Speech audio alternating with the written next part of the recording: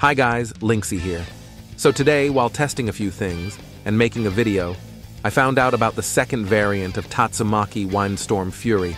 Well, this is more of a glitch than a second variant, but it works just like one, basically.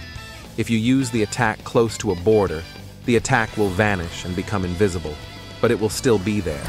It deals the same amount of damage, but if you do it from an elevated surface, it will become invisible, making it look cooler, not gonna lie, since Tatsumaki is supposed to have control attacks, not wind attacks. Well, that was all I wanted to say. Now here is some gameplay.